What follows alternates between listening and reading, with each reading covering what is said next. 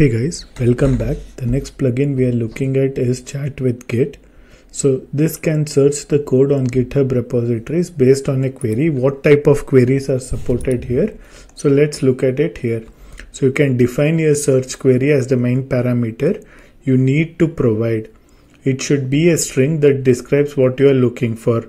So it could be uh, if you are looking for a Python code related to web scraping, your query might be web scraping language Python or you can call the query Git function.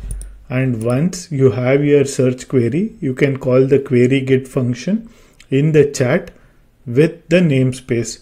So basically user can say find me some python code.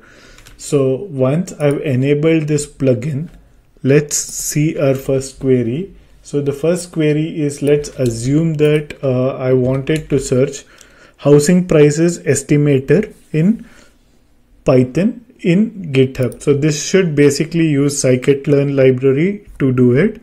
And this is a common problem in um, any scikit-learn wherein uh, so you provide a size of an apartment in a city, you train it on a data set. It's more of uh, it will predict the prices for you. So if you have gone through some basics in Scikit, this is a very common problem. Uh, many courses do cover. So I've just asked it to see if it can give me a solution for this. So as you can see, it's generating that data. Okay, so it gave us that data perfect.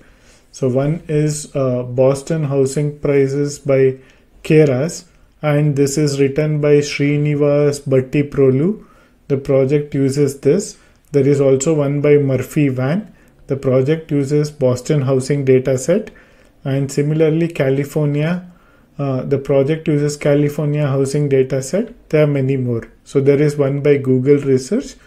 And okay, so it's also providing us the GitHub research. So if you want to confirm it's valid, cool. So it gave you the code here. And let me ask some similar queries here. So let me say, uh, let's assume that you are doing some marketing campaign and you want people's email and some specific data and uh, you don't know anything about databases. So let's assume you are trying to get it in a Google Sheet.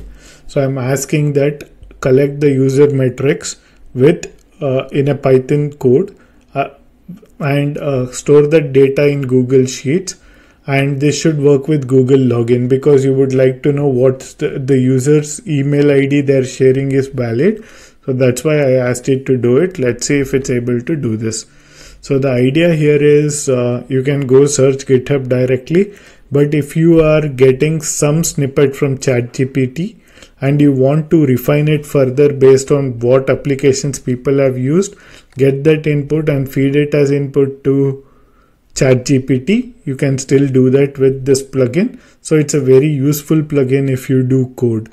And if you don't know to code, it is still useful because it helps you validate whatever code you were able to generate with ChatGPT that it's professionally good or not. So cool. So it gave us some code here on Google Sheets and there are many more here.